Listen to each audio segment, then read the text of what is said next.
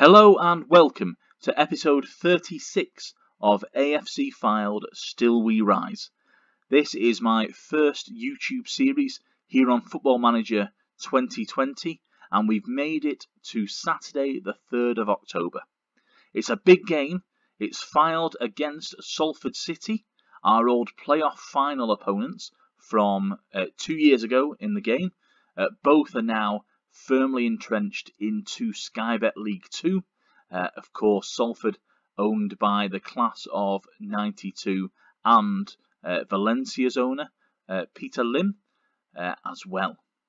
Last time out, uh, you may recall, uh, hopefully you were with us, we crashed to defeat against Bradford City, thanks to a Connor Wood hat trick. that was our second loss in succession, as prior to that, we'd also tasted defeat in the leasing.com trophy against Grimsby. The good news is that since then we have played four fixtures uh, and we've won them all, amazingly. Uh, there seems to be, uh, even the players seem to react uh, when the cameras aren't on, which is uh, an unknown, uh, unexpected. first, we won against Carlisle. Now, this was a comeback win at Brunton Park because we went down to a Virgil Gomez penalty uh, before we had to rely on Tom Walker to equalise. Tyrese Francois for Carlisle, uh, then put them back in front before Whitmore uh, levelled the matters.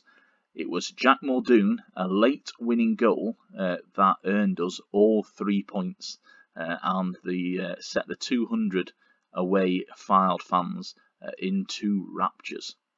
We then welcomed Stevenage to Mill Farm, uh, and we pretty much dominated the first half, raced into a three goal lead uh, thanks to Walker, Jan Songo, uh, our new signing uh, defender from Scunthorpe, and striker Jamie Proctor.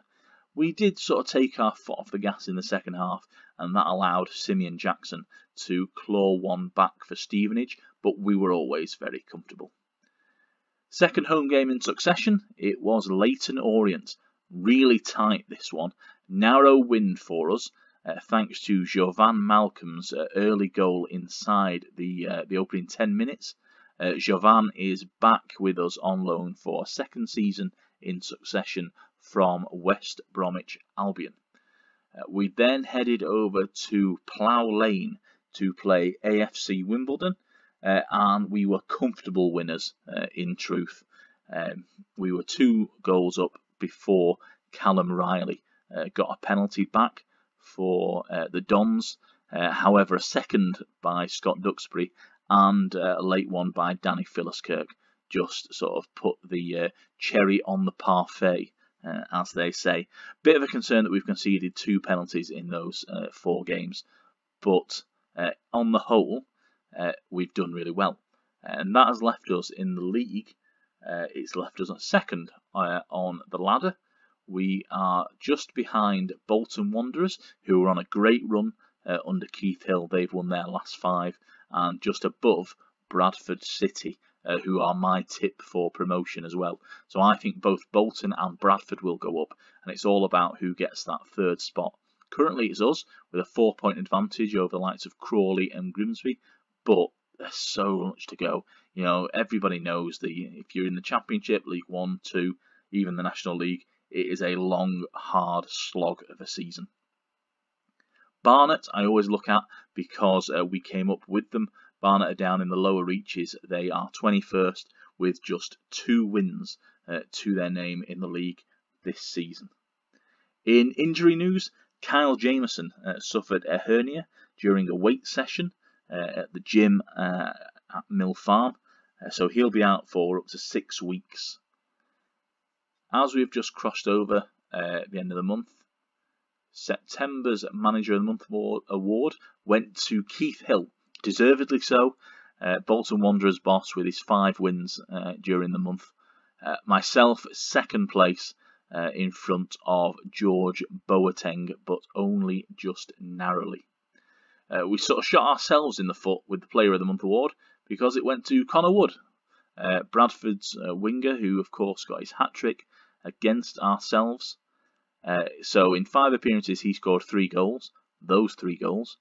Uh, Tom Walker, our own midfielder, uh, took second place behind him, despite a better average rating, it has to be said. Uh, and Joe Garner in third place. I mean, he got more goals than Connor Wood, so it seems as though he, the Bradford winger, is dining out on that one performance. Today's game is against Salford City. Now, they beat Stevenage in their last game, uh, thanks to goals uh, including from ex-Manchester United striker James Wilson and Adam Rooney uh, was on the score sheet. So he's certainly somebody that we're going to have to uh, look out for in this game. In terms of our lineup, it's pretty much the settled one now. The only big difference at the moment is that Jovan Malcolm has definitely earned his start on the left. Uh, he's been playing well from there. So he takes the place of Jordan Williams, who's currently rested. Matty Kosylo uh, isn't quite fully match fit. Um, his sharpness is a bit down. So expect him to come off during the game. Uh, and he's somebody that we're going to look to build up the fitness of with a few games. One of the frustrations at the moment is that all of our under 23 and under 18 games seem to happen on the same day as the senior team. So you have to be very careful about who's available and who's not. Uh, the uh, game liking to re uh, remind me there about Kosylo's uh, level of fitness. Um, you have to sort of place players out of the squad and make sure that they're not involved at all so that they can go and play for the under 18s or the under 23s and get a full 90 minutes uh, under their belt, uh, which is what they sort of need to kind of build that fitness and that match sharpness back up. You will have noted noted also on the home screen, uh, the chairman David Haythornthwaite is extremely happy with the finances involved in signing Jan Songo. Uh, an eye for a bargain, as uh, David Haythornthwaite, and hopefully that's what Songo proves to be. Uh, as discussed, um, it's actually going to be quite a similar formation to ours. Uh, Davis and Andrade will play a little bit further forward than the graphic suggests on screen. And then they've got their three in the middle, just like we do.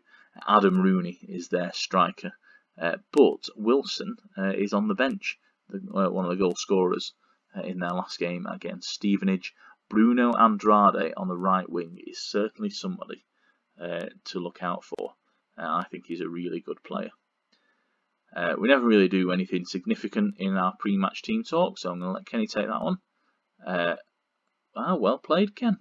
I have to say. Eight players, uh, all motivated by his words. I'll give credit where it's due. And uh, we're going to go uh, straight into the game here.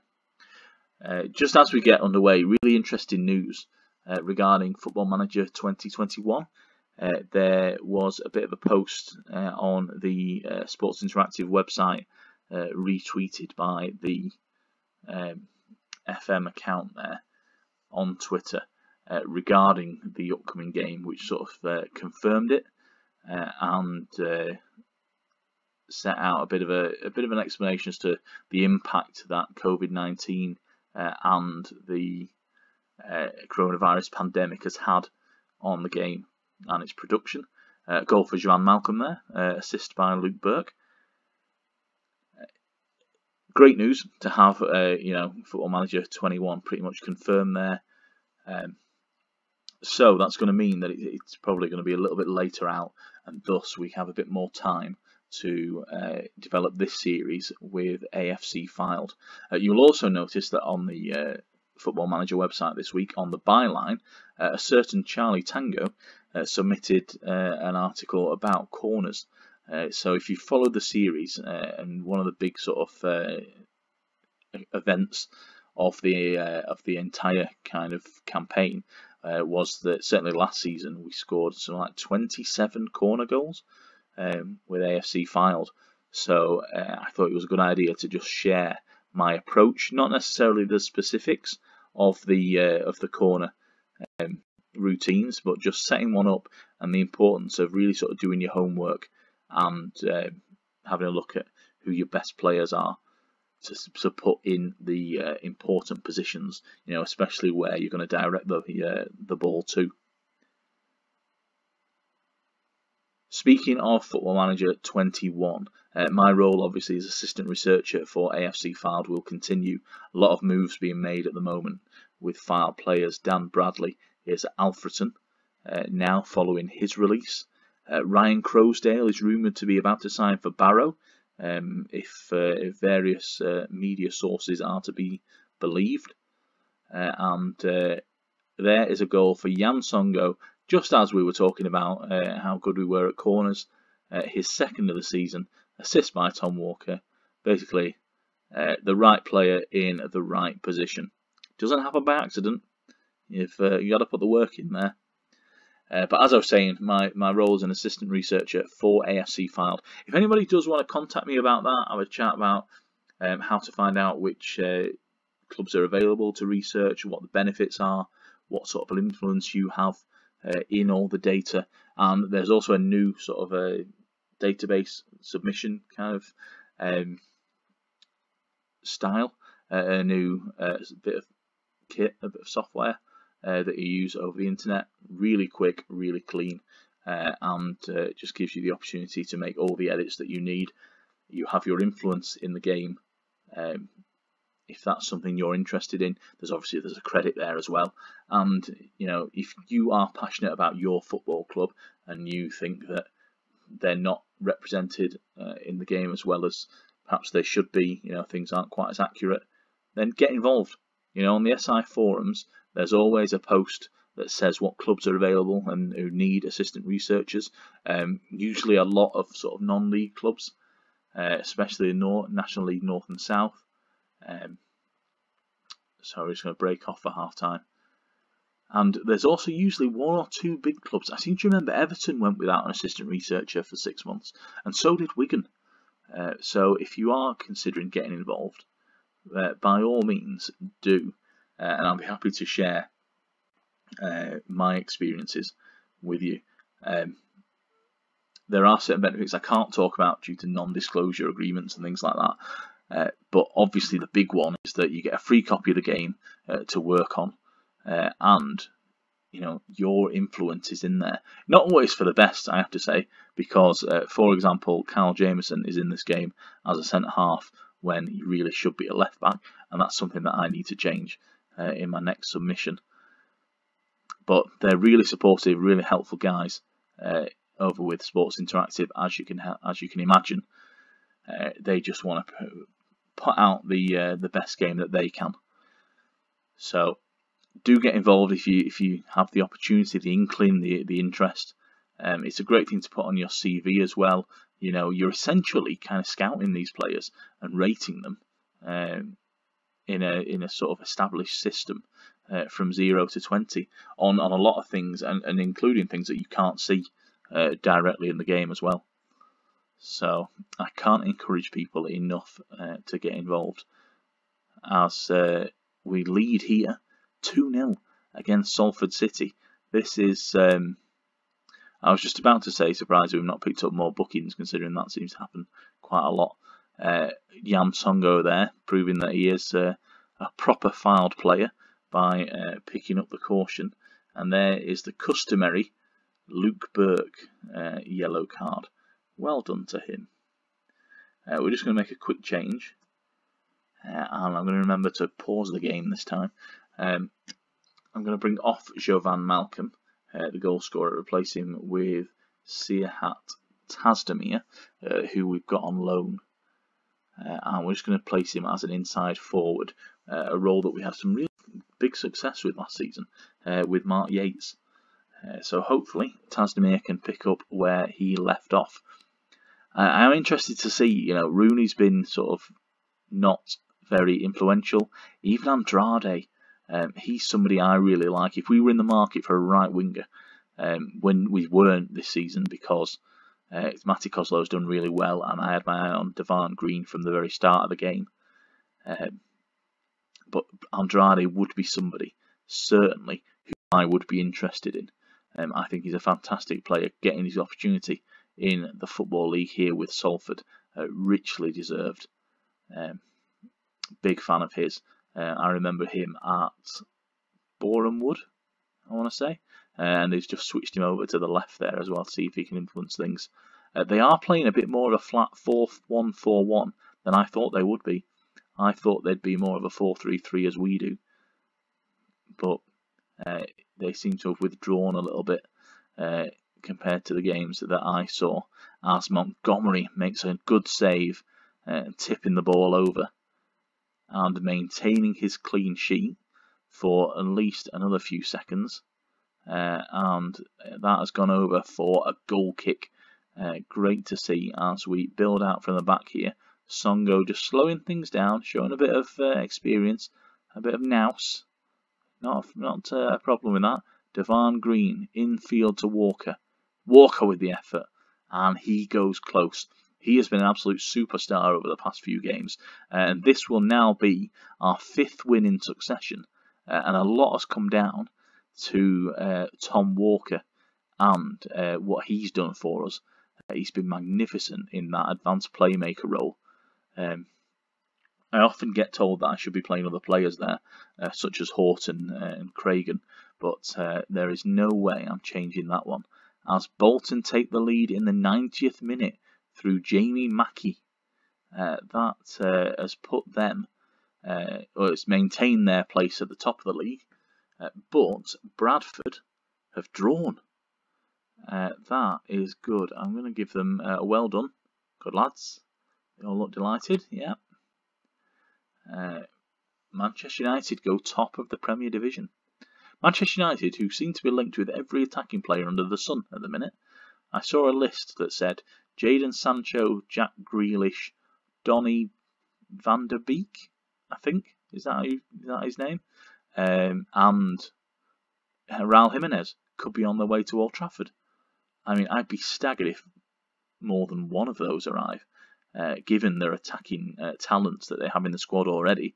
You think they've got sort of Fernandes, Martial, Rashford, and Mason Greenwood, who had a fantastic end of the season. Uh, absolutely no reason to look for any other players there. Uh, and Manchester United are obviously the, the blueprint for bringing players through. I think they've got the record of so, so many years of having an academy graduate in their matchday squad. Uh, that is sort of, you know, the, the football manager dream, really, to keep that going. And uh, they've done absolutely magnificently uh, with giving players the opportunity. Uh, and also, I have to say, one of the things that I do read a lot about Manchester United is that they look after their players even when they leave. So if even if they know that somebody's leaving, they will help them find somewhere uh, in order to play some more football.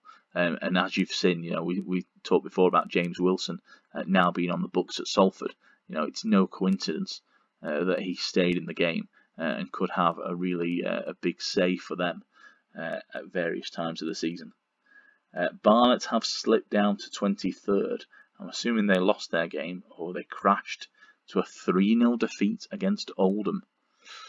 That is not what you want to see, uh, although obviously don't have any interest in it, but Barnet are the team that I, I do uh, keep an eye on because we're now 21 points clear of them.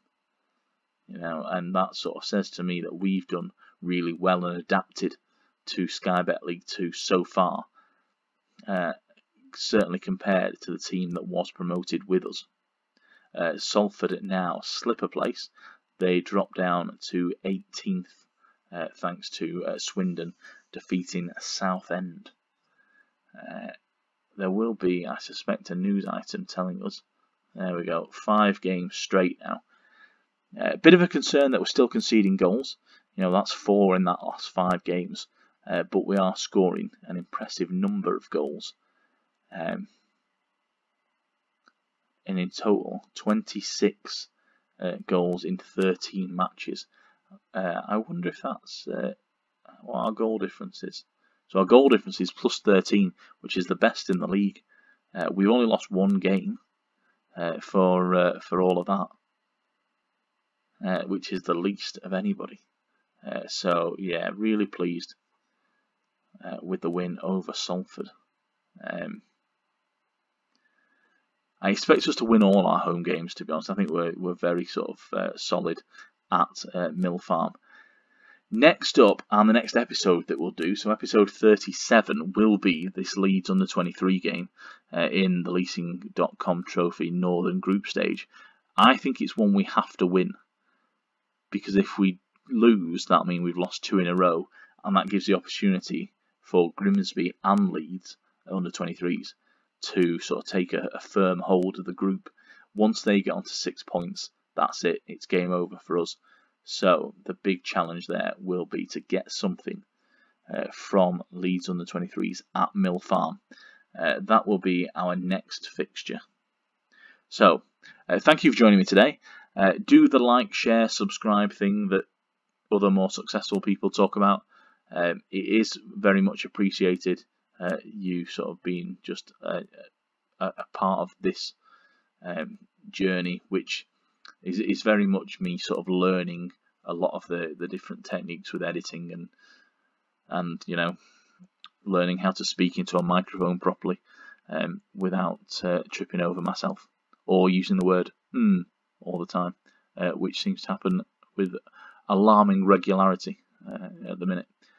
So thank you for being uh, part of this, and I shall see you next time.